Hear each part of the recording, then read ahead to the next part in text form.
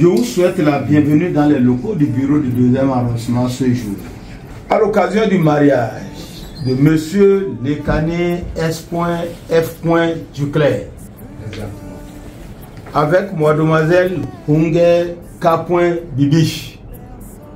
Alors, parents et amis, vous qui avez sacrifié un peu de votre temps pour être témoin de l'événement de ce jour et soutenir deux âmes qui vous sont chers, soyez remerciés pour cette présence affective.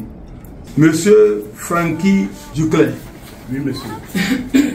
Fils de Sona Geoffroy. Exact. Et de Demanou Olive. Correct.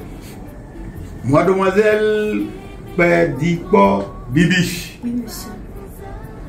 Fille de Hunger Hodonou. Et de Yakaja Monique. Ok. Suivez attentivement, hein, surtout vous deux. Vous, vous avez décidé en toute liberté et de façon souveraine, de façon volontaire, de façon libre, de vous marier devant une loi. La loi numéro 2002-07 du 24 août 2004 portant code des personnes et de la famille en République du Bénin. C'est devant cette loi, la loi numéro 2002-07 là, que vous deux là, vous avez décidé en toute liberté et de façon volontaire, libre, souveraine, de vous marier. Cette loi guidera vos pas tout au long de votre séjour. Et la même loi vous protégera.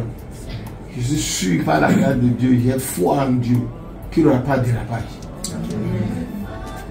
Je compte beaucoup sur vous, hein, parce que nous avons reçu votre demande de mariage. Nous avons étudié le dossier du mariage. Et au cours de l'étude du dossier, quelqu'un nous a soufflé à l'oreille que monsieur Frankie Tucler, monsieur. il paraît que vous, vous êtes l'homme le plus heureux de la terre et de ses environs. Grâce à Jésus. Il paraît que vous êtes l'homme le plus heureux de la terre et de ses environs, y compris dans les planètes. Alors madame, à côté d'un grand homme, on retrouve toujours une grande dame. Soyez patiente, soyez tolérante, soyez docile et gérez les problèmes du foyer en interne autant que faire ce peut. Vivez comme la langue et les dents sont ensemble. Parfois, elles se chamaillent, mais la langue ne se fâche pas pour sortir. Ça peut aller? Oui, monsieur. Vous me donnez cette garantie vous. Merci, monsieur.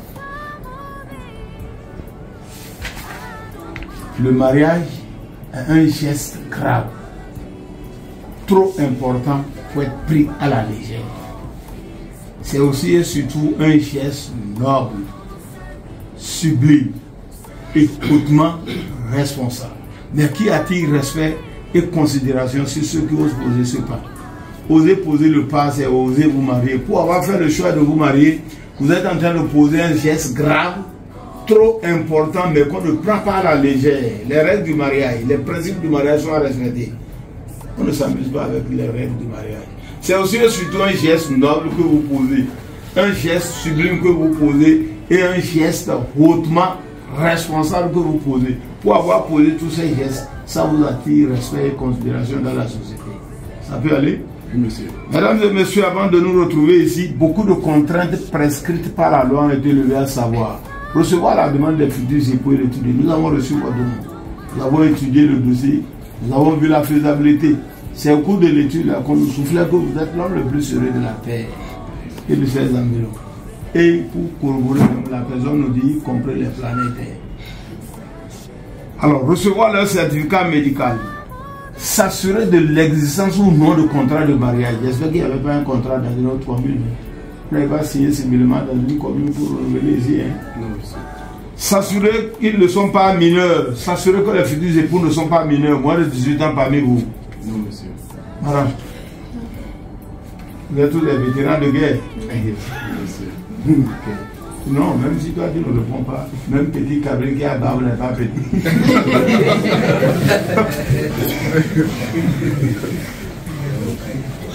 S'assurer que les futurs époux sont de sexe opposé, les parents. Je ne veux pas la réponse des quatre, mais vous qui êtes derrière, est-ce que vous me rassurez qu'ils sont de sexe opposé? Ce que je vois sur la tête là, est-ce que ce n'est pas vous me trompez, ce n'est pas un monsieur? Hein? Ce n'est pas un monsieur, c'est une femme.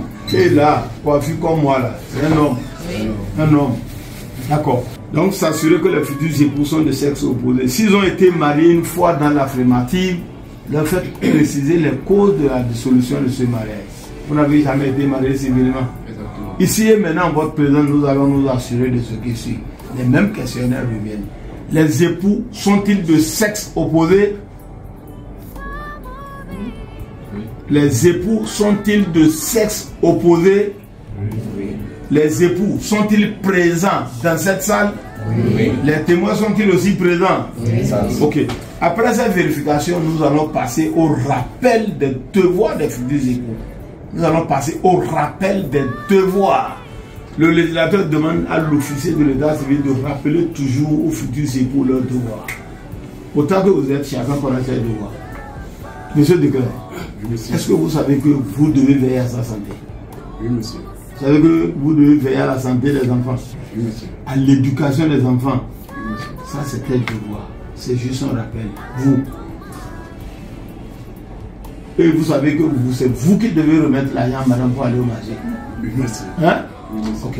Madame, est-ce que vous savez, lui, avant qu'il ne revienne du service à, à midi 30, le repas doit être à table à chaud bien couvert Vous savez que vous devez veiller à, à- à sa santé en lui donnant un repas sain, propre. Veiller à la santé de tes enfants. Veiller à l'éducation de tes enfants. Voilà. Toi, tu veilles à sa santé. Lui veille à ta santé, mais vous deux, vous veillez à la santé des enfants, à l'éducation des enfants. C'est un rappel. Nous allons passer au rappel des devoirs, vos devoirs là. C'est ça, on vous rappelle. Ok. Article 123, le mariage ne peut être contracté quand un homme âgé de moins de 18 ans. Il faut avoir au moins 18 ans pour qu'il y ait contrat de mariage.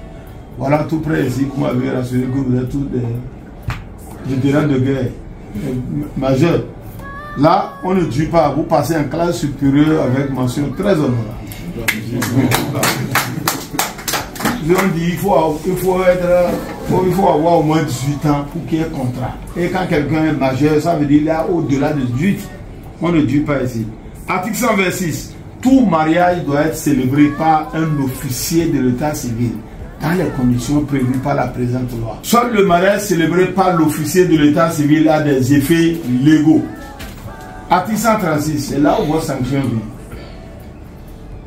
comme votre témoin m'a dit que c'est une sanction, c'est une infraction positive, quel mot vous avez dit C'est ça. C'est une, une sanction positive qui ne ferait pas du mal. Suivez attentivement. L'article 136.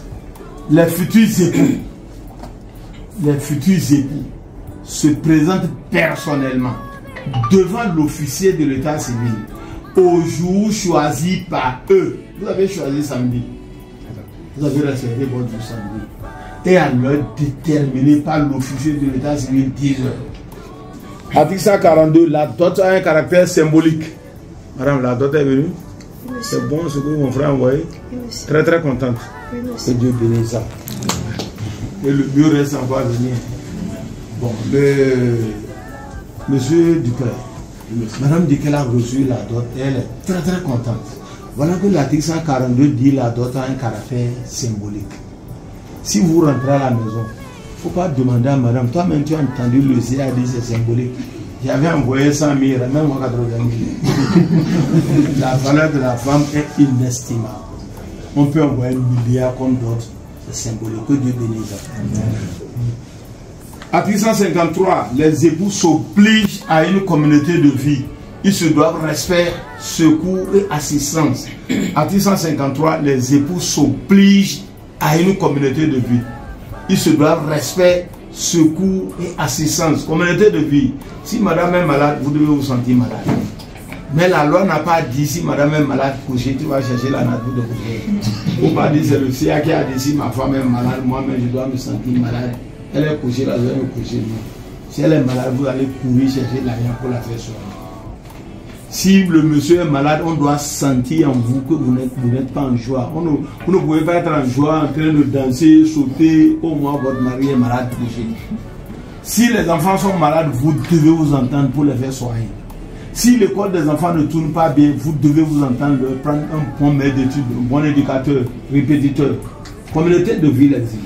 Si madame a un moyen de déplacement, si c'est moto ou voiture, sa moto tombe en panne, monsieur Duclerc, tu lui remets l'argent, elle répare. C'est bon?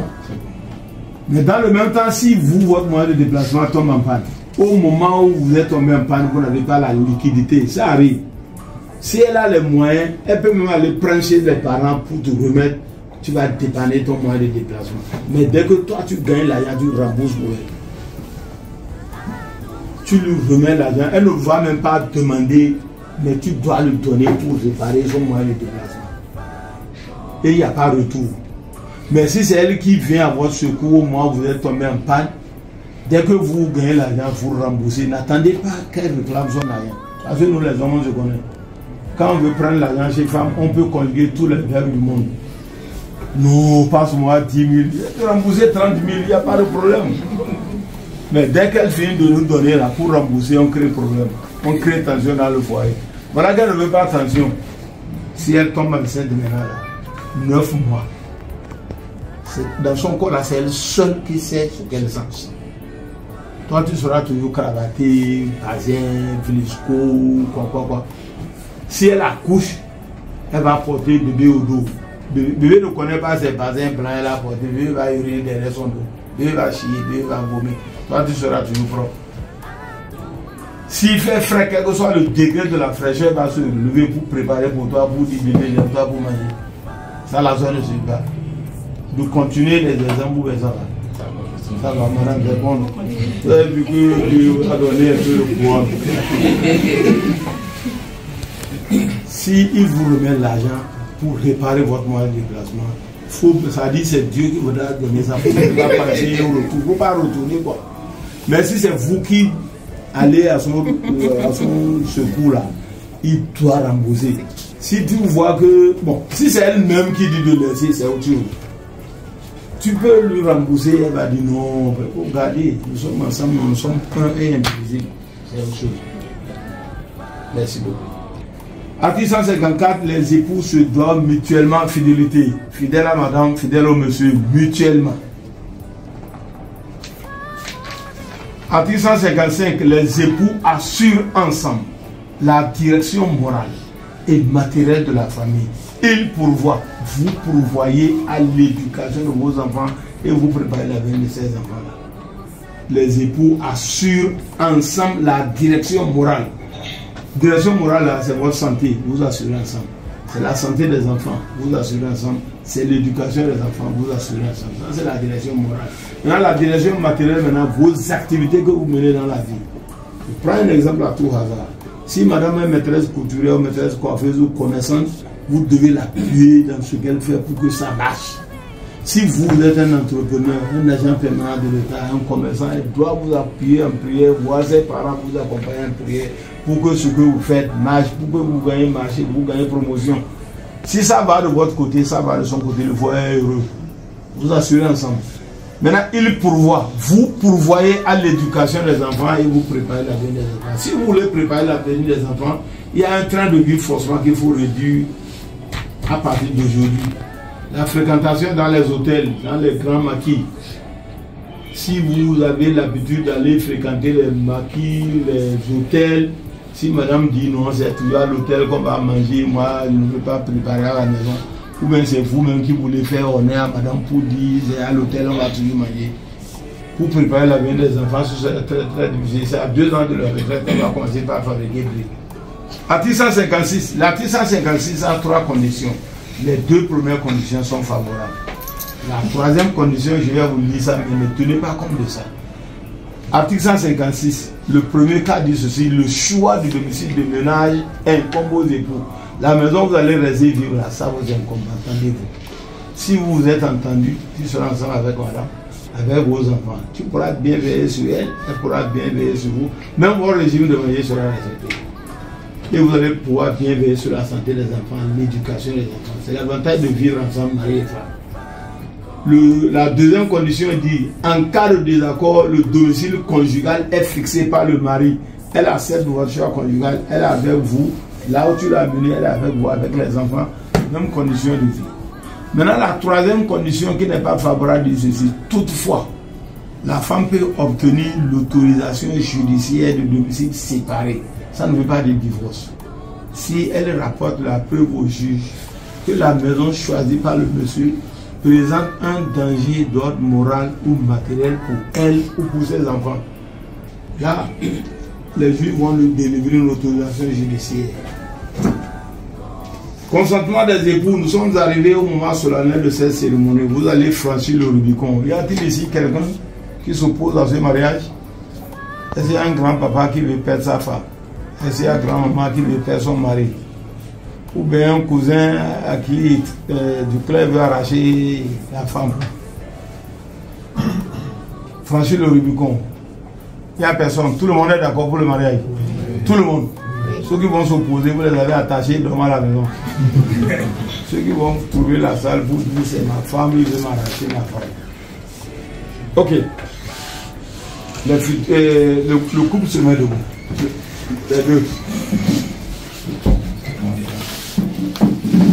Ok. Alors, au futur époux, monsieur Frankie Duclerc. Oui, monsieur. Voulez-vous prendre pour épouse mademoiselle Pédicor Bibiche, ici présente? Oui, monsieur. Oui, je le veux. Oui, je le veux. À la future épouse, mademoiselle Pédicor Bibiche, Oui, monsieur. voulez-vous prendre pour époux monsieur Frank, Frankie Duclerc, ici présent? Oui, je le veux. Oui, je le veux.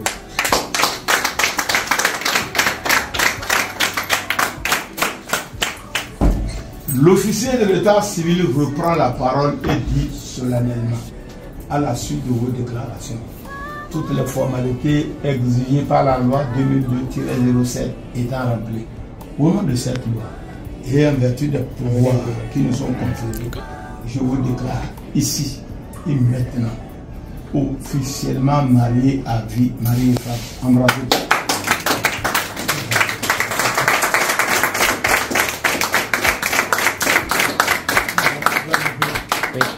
Vous avez vraiment Oui. Il y a Alliance Ah oui. Bon.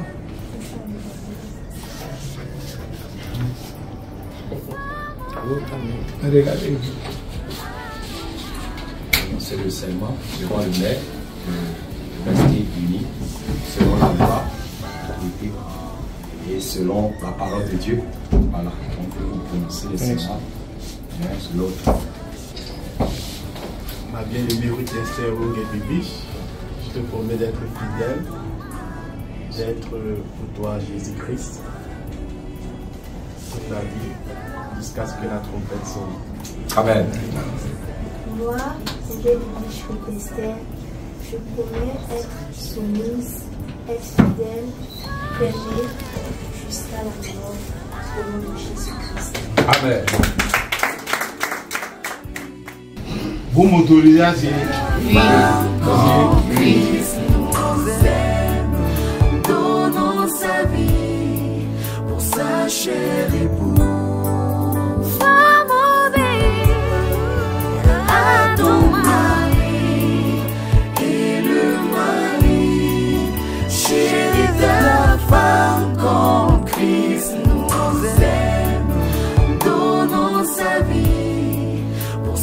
sa chère épouse. Femme obéie à ton mari. Et le mari, chérie de la femme comme Christ nous nom de la loi 2002-07 et en vertu des pouvoirs qui nous sont conférés, je vous remets officiellement votre acte de mariage et servir et valoir ce que je dois.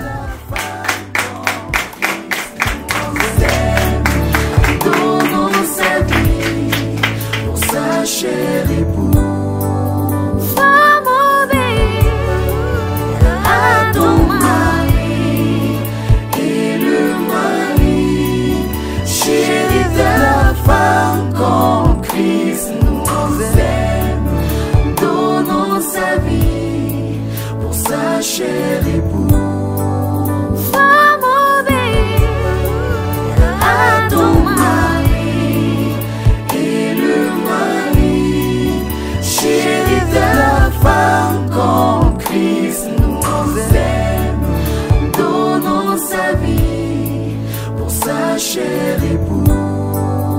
Femme obéie à ton mari et le mari, chérie de la femme qu'en Christ nous aime, donnons sa vie pour sa chère époux.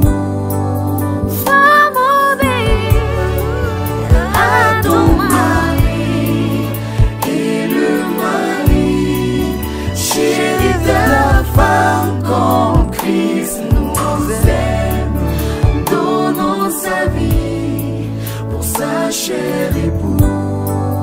Femme obéie à ton mari et le mari, chéri de la femme, quand Christ nous aime, donnons sa vie pour sa chère époux.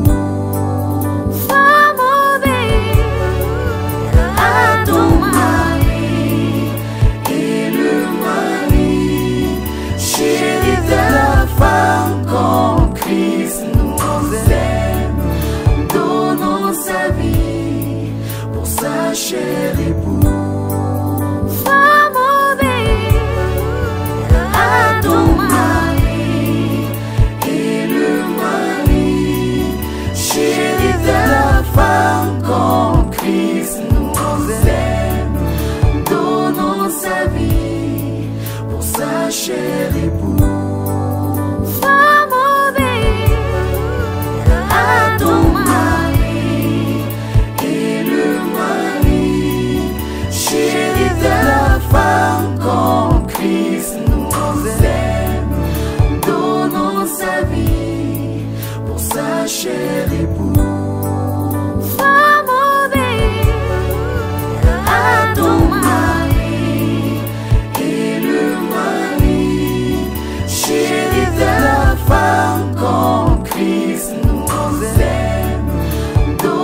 Sa vie pour sa chère époux. Femme obéie à ton mari et le mari chéri de la femme comme Christ nous aime. Donnons sa vie pour sa chère époux.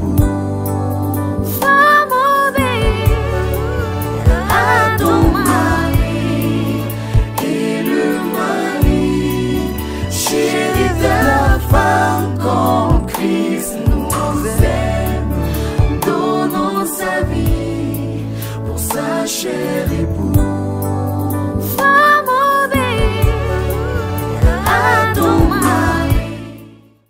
Je remercie papa et maman. Je remercie notre frère. Je bénis le Seigneur pour la vie des serviteurs de Dieu. Je bénis le Seigneur pour la vie de mon fils Paul et ma fille Ruth Esther. Et si je vous ai invité à en parcours, c'est pour exprimer toute ma gratitude pour la disponibilité de chacun de vous pour accompagner euh, cet événement de l'union euh, de mon fils et de ma fille dans le Seigneur. Et pour que le Seigneur est vivant, dans la vie, chacun a une destinée. Et quel que soit le combat que l'ennemi mène contre cette destinée, euh, ça s'accomplit toujours. Le mariage de Esther a été beaucoup combattu. Et je l'ai toujours apporté mon soutien. Et j'ai toujours prié pour elle. Et je l'ai toujours rassuré que tant que Jésus n'a pas dit son dernier mot, de continuer à espérer, à garder espoir. Et je me souviens très bien que à l'entame de 2024, je l'ai croisé devant mon portail et ai dit, qu'est-ce que cette année c'est son année. Alléluia. Et je n'avais rien sur la main, mais dans mon cœur profond, le Seigneur veut que je lui dise ça. Et elle a attrapé avec foi. Et par la grâce de Dieu, le Seigneur est en train d'accomplir. Gloire à Jésus. Et c'est fasciné dans le Seigneur. Euh, arrivé à un moment, il peut même s'embrouiller. Parce qu'on commence ici, ça ne marche pas. On commence ici, ça ne marche pas. On commence ici. Mais à chaque étape, papa et maman soutiennent toujours leur fille. Acclamez Jésus. C'est ça, être un père, être une mère modèle. C'est ça.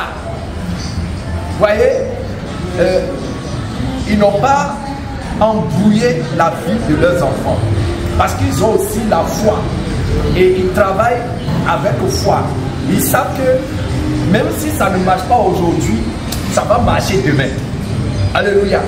Et ils fortifient aussi leur vie. Et ça, vraiment, c'est quelque chose de très précieux que j'ai gagné. C'est c'est vraiment, euh, ils ont un bon leadership parental. Je suis vraiment fier de ça.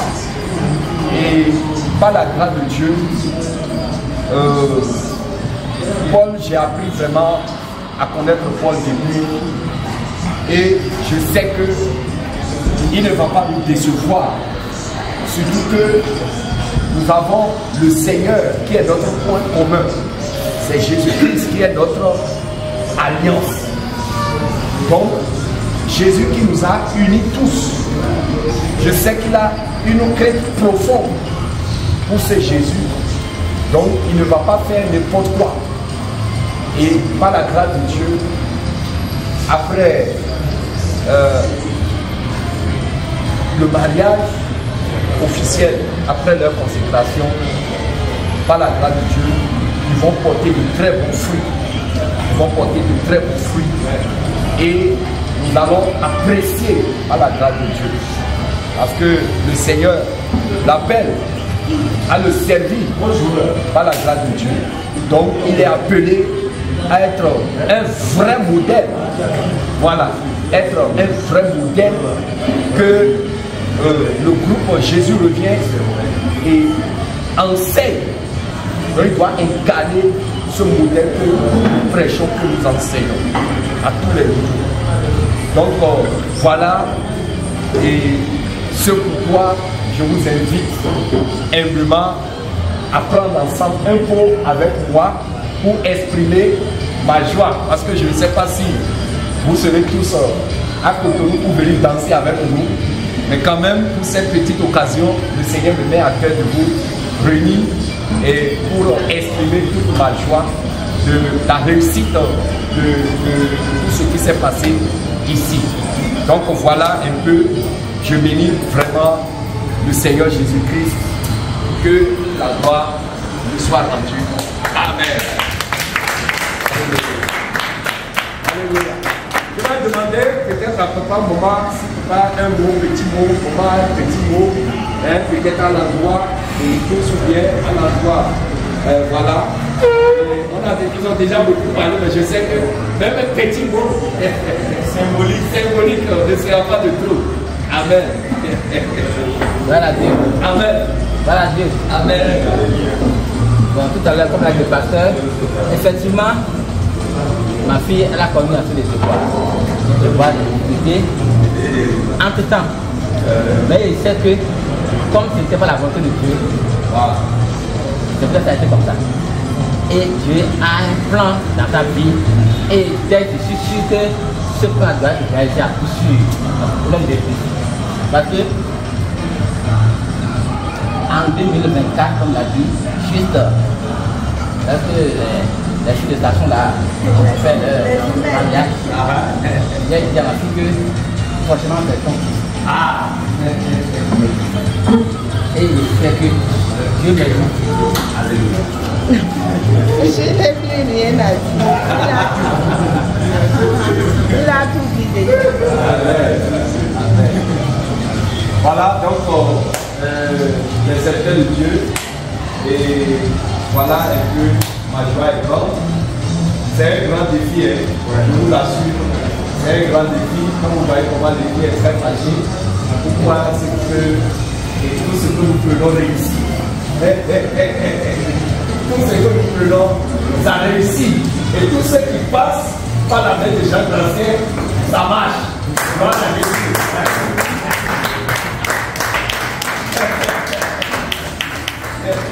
Donc, je bénis vraiment le Seigneur et je sais que derrière ça, le projet de chacun de nous, chaque jour, ça va rester dans le Seigneur. Nous sommes en Jésus et nous sommes tous vainqueurs. Alléluia. Donc, on, on va manger, chacun va. En tout cas, il y a un peu là-bas, chacun va aller faire son choix. Et puis, on va rester ensemble pour faire quelque chose. Amen. blessed